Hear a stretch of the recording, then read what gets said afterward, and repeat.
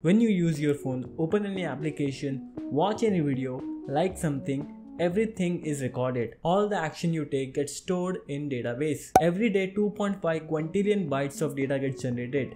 That's 2.5 followed by 18 Now before we had technologies, we used to store our data differently. We used to store our data into papers and file, but if we wanted to find something, it gets really difficult to find something from the paper. So after that computers came and we started storing our data into computers. So we started using different software such as MS Excel to store those data. Now storing data is just one thing we also need to access the data and find the relevant information. So finding information from MS Excel or paper gets difficult when the size of the data increases. So to solve this particular problem, we developed database management system. Database management system are designed to store and retrieve data in efficient manner. So we have a scripting language called as a SQL, SQL, structured query language that is the language we use to communicate with the database. So in case if you want to find something, let's say if you want to get the records of last 10 days, so you can just fire up the SQL query such as select star from last 10 days and you will get the relevant output. Now almost all the companies use SQL on their day-to-day -day job to insert data, to update data, to retrieve data and many more things. So in this particular video, I will tell you about how I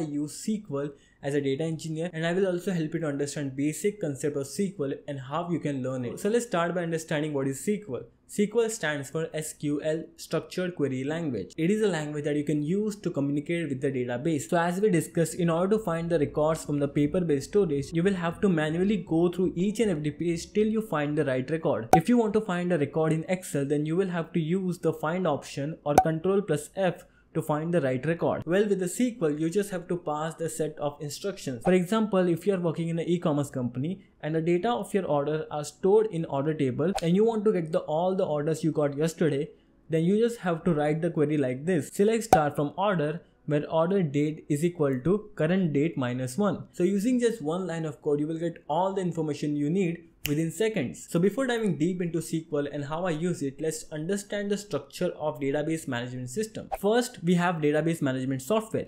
These softwares are developed by different companies, organization and open source team. These are the top database management system available in the market. I mainly use PostgreSQL for my work because it is open source and it is easy to use. Once you install the application then you can start using SQL for various activities. SQL is a universal language and it is supported by almost all the databases. Some of the databases might have different syntax or way of writing it but you will get the same result at the end. Inside the database management system we have databases. Databases databases is an organized collection of data. So in one company, there might be multiple databases for different teams such as accounting, IT department, marketing, sales, etc. And inside the database, you have tables. This is where your actual data gets stored. So what is table?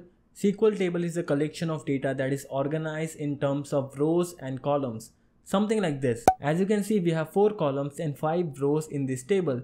This is known as the relational table because you can create multiple tables and define the relationship between them. With the relational database, we also have non-relational or the NoSQL database. So the NoSQL databases have different use cases. So if you want to store data into key value pair, graph data or anything else, then you can use the NoSQL database. In this video, I want to focus on the relational side of the database, which is SQL. Now we understood the basic concept of relational database. But these databases are not good for analytics. What is analytics you ask? Let me tell you. Let's take the example of an e-commerce company again. Every company gets thousands of order and these information gets stored in relational database.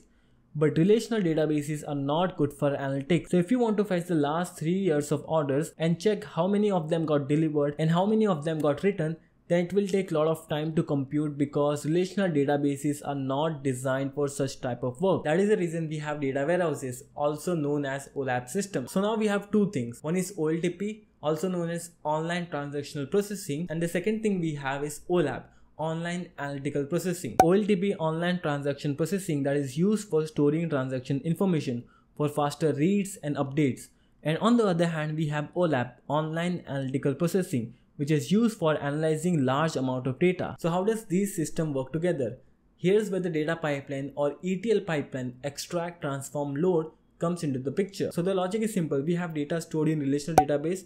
We want to use that data and create the ETL pipeline, transform that data and put that data onto some kind of data warehouse or OLAP system. Now you can do transformation using anything. You can use simple Python code. You can use enterprise tools such as Alteryx, Informatica, or you can use any open source framework such as Airflow to do the final transformation. So what do we actually mean by transformation? transformation can be anything so if you want to add one column if you want to combine two column and create the new column or if you want to remove any null values or it can be based on business logic and the requirement of the business and once you do the transformation you can store that data onto data warehouse which can be used for further analysis. Now once we have our data into data warehouse which are designed for analysis so you can build a dashboard on top of it create metrics and do whatever you want. So if you want to run a query and analyze the last three years of data you can easily do that using data warehouse. And the fun thing is you are going to use the same language which is SQL structured query language to do all of these things. So you can see the SQL is everywhere. So this is one of the most important skill to know as a data engineer, data scientist, or general if you are working into data space, you should know SQL and how to work with it. So how to learn SQL, these are the few good courses I found online so you can refer that. I will put the link in the description so you can watch and enroll into it. I will put all the links from the paid courses to books to different websites so you can easily refer them. Now let's answer how I use SQL in my day-to-day -day job. The first one we already discussed is writing ETL job. So many companies generally write the transformation job into SQL. So once they have the clean data onto data warehouse, so you can use SQL to do more transformation and build more tables for further analysis. Second way I use SQL in my job is to do analysis. So when you are working on the dashboarding and analytical side of the data engineering, you will be working with a lot of business business stakeholders. So business stakeholders are the people who work with the business and take different decisions. So they want to understand how the business is performing. So they will come to you with the different requirements to understand how their business is performing. So they will come to you and tell you that what kind of metrics they want, what kind of graphs they want to build. So you will have to write the SQL queries for that and fulfill those requirements. You can use SQL for many more things from visualization, data quality check, validation and many more. But right now, if you are watching this video till here, then you are the person who wants to learn something and want to do something in their life. And if you want to really get into data field and understand your data space, then SQL is one of the skills you can't miss. So if you are excited to learn SQL, then put the comment below. I am excited to learn SQL. That way I will know you watched this video till the end and I will understand that you are the person who actually wants to do something in their life. Thank you for watching this video. See you in the next video.